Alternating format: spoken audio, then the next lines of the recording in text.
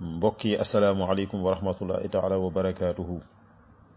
waaye guddig ñetteel ga tamit nee na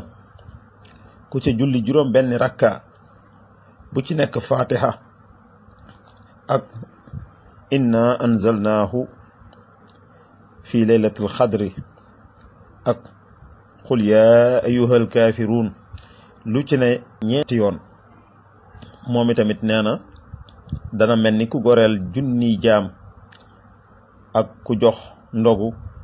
junni ñu wooroon wodd junni ñu rafle waaye leel tamit junni ñu xiif leel mooy joxe jox ñam junni doomu aadama yoo xam ne dañoo xiif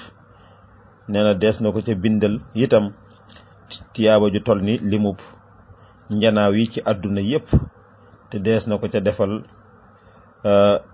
li ñuy defal jaamu yàlla yi gën a baax ak tamit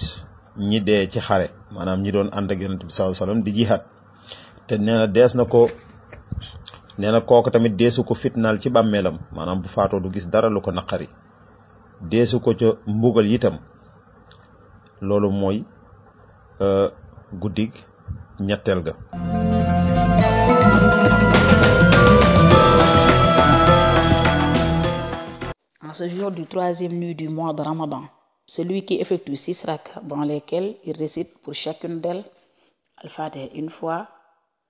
suivi des sourates Al-Khadr, Inna anzalna al quatre fois, al a Inna un quatre fois, bénéficiera des avantages dus à quelqu'un qui a affranchi mille esclaves, donné à manger à mille personnes au terme d'une journée de jeûne, habillé mille personnes dans un dénouement total,